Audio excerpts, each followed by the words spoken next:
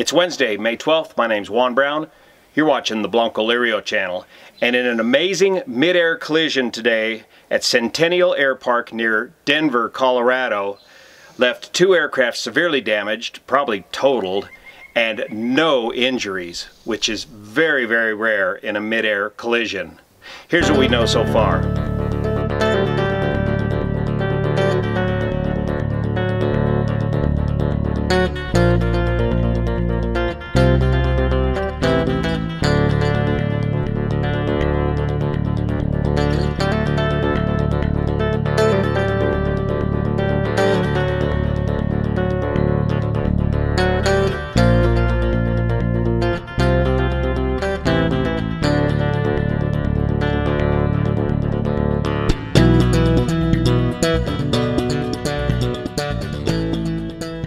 This comes from Channel 7 News in Denver, Colorado.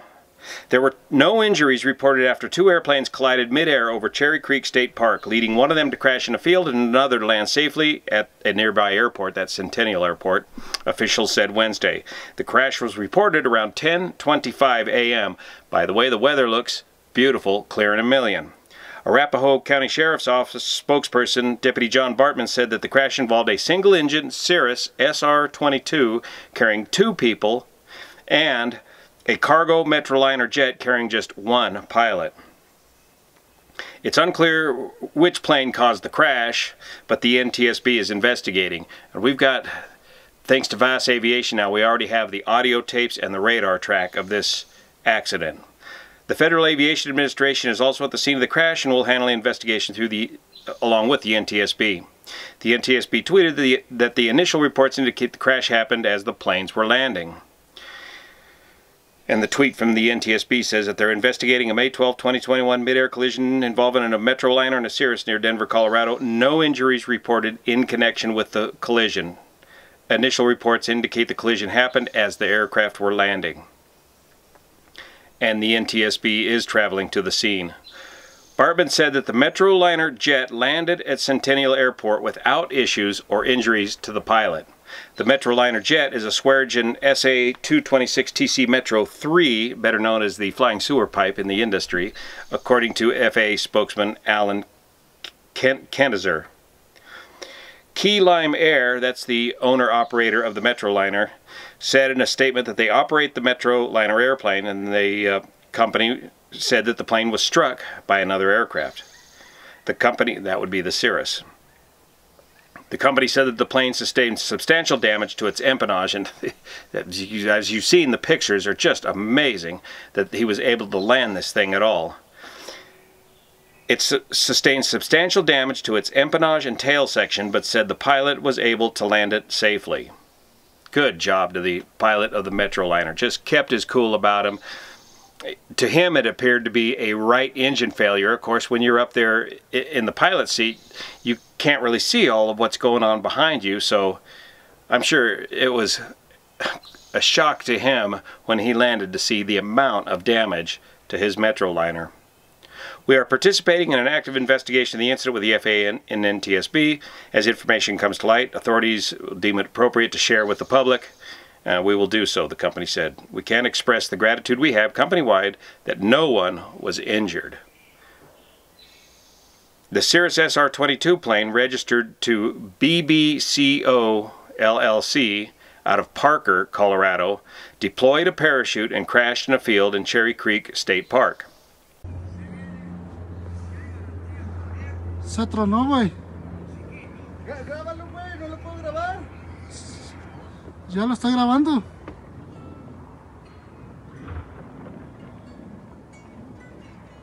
Y la gente corriendo, mira. ¿Vamos o qué? This crash occurred, or this collision occurred on final for the runway 17, the parallel runways at uh, Centennial Airport. We'll show you here on the chart.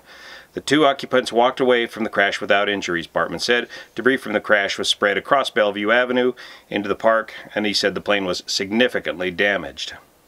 And Bartman said the scene would likely be active for several hours while the investigation continues. Let's go inside and take a look at the radar tapes of this and show you just how this played out. And shows again the importance of Well, the limitations of see and avoid midair collision avoidance and how you need to back yourself up when doing parallel approaches to parallel runways.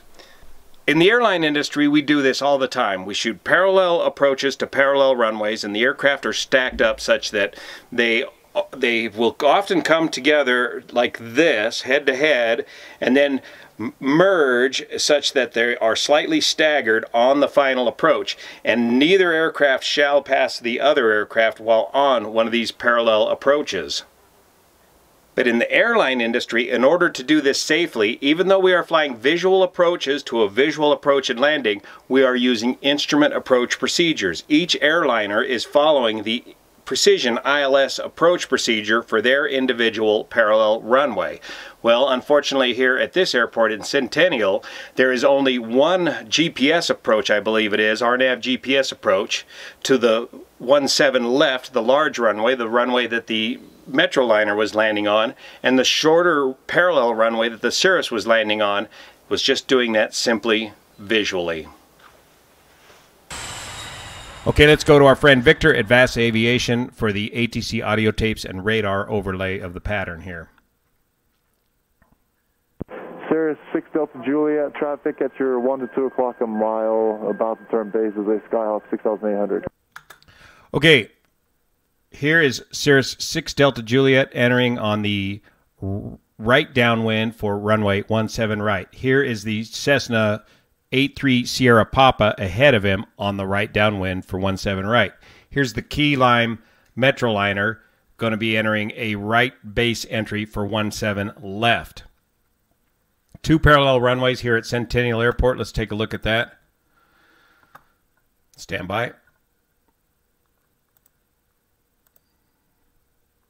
Here's the Centennial Airport KAPA runway 17 left, the long runway over 10,000 feet long. This is the runway that the Metroliner is landing on. And then one runway 17 right, 7,000 feet long. The shorter runway is the runway that the smaller single engine aircraft are using in a right hand pattern.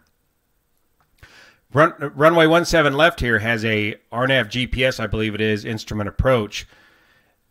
One seven right has no instrument approach at all. They're just using visual procedures to line up with the runway one seven right. Uh, looking for traffic, 6 Delta Juliet. Sir, 6 Delta Juliet, fly towards the west shore of Cherry Creek. The west shore of Cherry Creek for 6 Delta Juliet. Okay, they're telling uh, Cirrus 6 Delta Juliet head for the west shore of this reservoir. Stand by, I'll show you that. Here's the Google Earth view of Centennial Airport. Zoom in here. There's runway 17 right and runway 17 left. Lots of development and growth around this airport. And here's the Cherry Creek State Park referenced in the news report. And here's the reservoir. And here's the west shore of that reservoir that they're aiming for as a visual checkpoint to come on in for their right base pattern and entry for 17 right. Tower, good morning. Count 970 on the visual on 7 left. QM 970 Centennial Tower, if you can, just maintain that speed. There'll be traffic in position prior to your arrival. I'll do it. Count 970. Thank you. Okay, here's uh, Key, uh, Key Lime, the Metro liner right here. Sir, 6 Delta Juliet, traffic you're following just turned right base. They're heading to the right, 6,600 Cessna. Uh, traffic in sight, 6 Delta Juliet. Sir, 6 Delta Juliet, follow them, runway 17 right, cleared to land. Additional traffic, North Shore is the Metroliner for the parallel. I have traffic in sight, clear to land, 17 right, 6 Delta Juliet. Okay, so the controller pointed out to the Cirrus 6 Delta Juliet both of these aircraft, the Metroliner and the Cessna. So the Metroliner is on long straight in for the left runway, and the Cessna is uh, on a shorter right base ahead of the Cirrus for the right runway. What's unclear at this time is did the Cirrus pilot understand to acknowledge that there are two pieces of traffic he's acknowledging that he's to be looking out for, or does the Cirrus just see this Cessna in front of him and is acknowledging that? It's not clear just from the ATC audio tapes here. QM 970 traffic, 1 o'clock, 1 mile, 6,500. Cessna on final for the parallel runway. Roger, Kilo 970, we're looking. Okay, she's telling Key Lime about this traffic, the Cessna traffic ahead of him, and he's does not have him visually in sight just yet.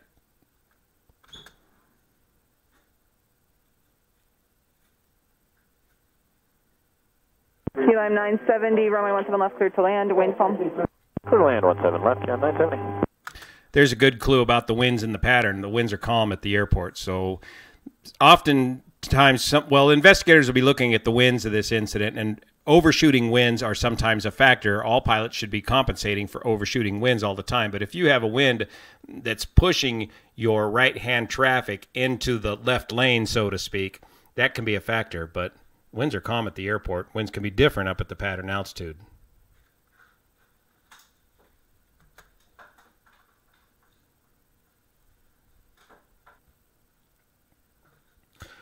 So, right about here is where the two aircraft end up coming together.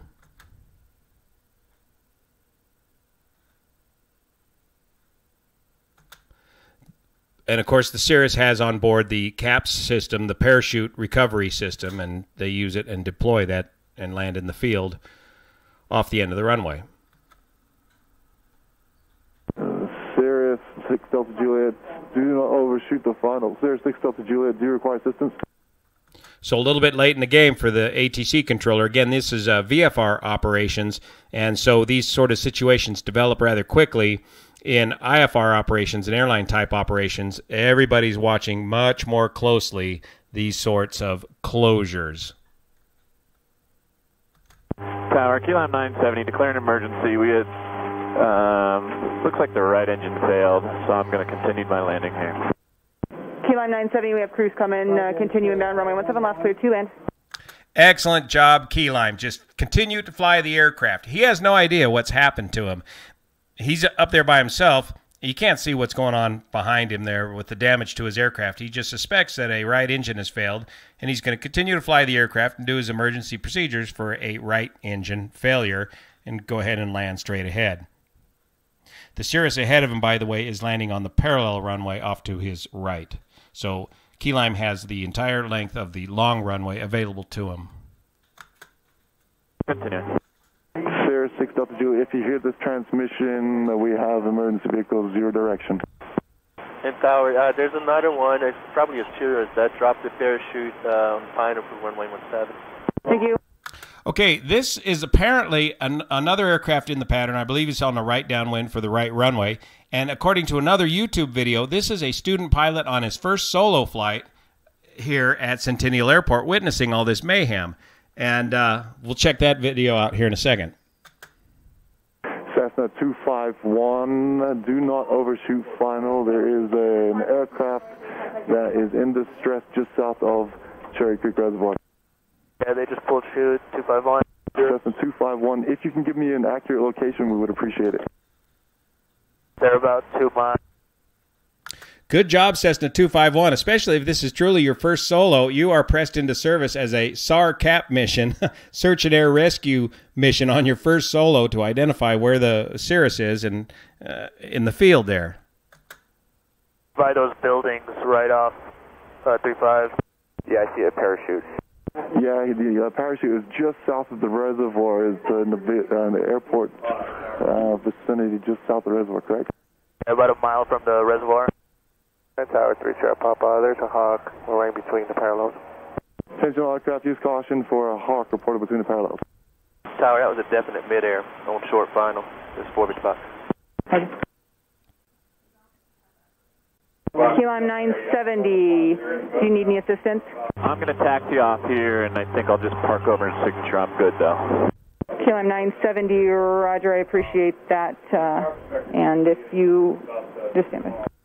Key Lime is uh, so cool. He's just like Chad on Saturday Night Live. I'm good, and because again, I don't think he realizes the impact of what has just happened to him here until he gets that aircraft shut down and goes back and takes a look at it. That just must have been a heck of a surprise. Tower, I'm going to taxi on Alpha here back to this uh, northwest corner of the signature ramp. Key Lime 970, Roger, approved as requested, and we'll get a crew out to you also. Roger. Now look at the damage on that Metroliner. That is just tremendous damage. How that aircraft did not come apart after that much damage is just just amazing. And the handling characteristics with that much drag on the aircraft.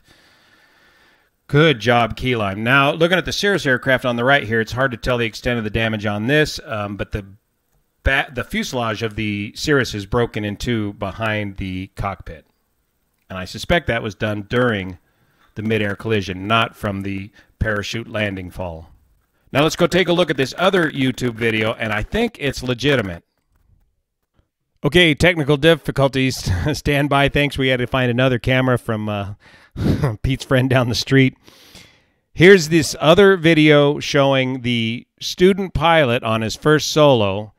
Let's back this up here a second. This comes from Shrav, 20 subscribers. He says, This all happened during my first solo at KAPA Centennial. I was flying November 65251, which we heard on the audio tape from VASAviation, and reported the pulled chute and location of the down Cirrus.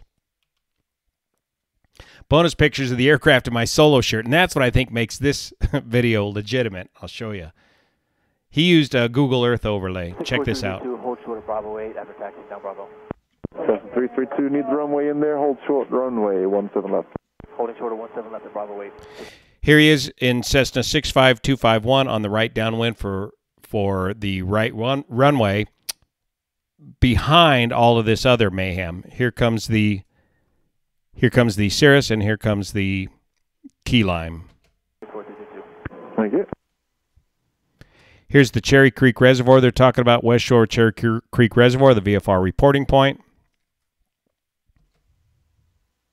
Tower 733 Tango Charlie on this frequency. Cessna 3 Tango Charlie, ground point 8. Thank you. 7.8, 733 Tango Charlie. Uh, Cirrus 6 Delta Juliet, do not overshoot the final. Cirrus 6 Delta Juliet, do you require assistance?